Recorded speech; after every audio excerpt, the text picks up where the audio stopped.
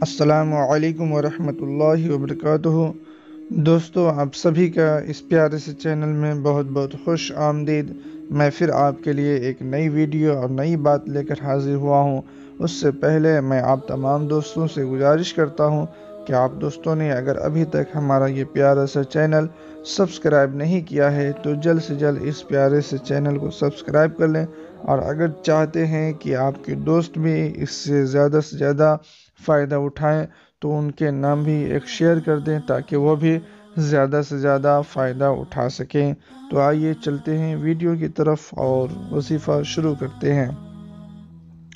دوستو، آج کا یہ وظیفہ بہت ہی خاص ہے اور لاجواب ہے۔ اس وظیفہ کو کرنے کے بعد آپ جو بھی اللہ تعالیٰ سے مانگو گے وہ ملے گا۔ بس شرط یہ ہے کہ اس کو صرف جائز مقصد کے لیے کرنا ہے، ناجائز مقصد کے لیے ہرگز نہیں کرنا ہے، ورنہ کوئی فائدہ نہیں ہوگا۔ الٹا آپ کو نقصان ہی اٹھانا پڑے گا۔ تو آئیے شروع کرتے ہیں۔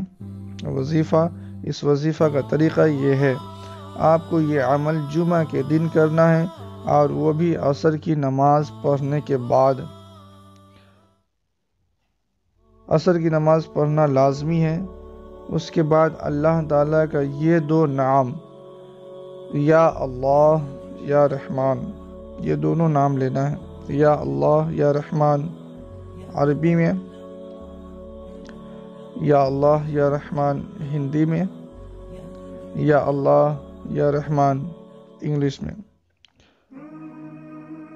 عصر کی نماز پڑھنے کے بعد سے لے کر مغرب کی نماز پڑھنے سے پہلے تک اس نام کو پڑھتے رہنا ہے۔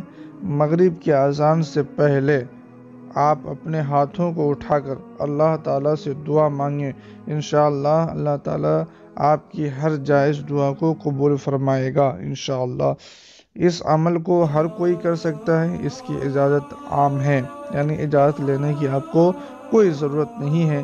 دوستو، یہ بہت پاورفل اور آزمایا ہوا عمل ہے۔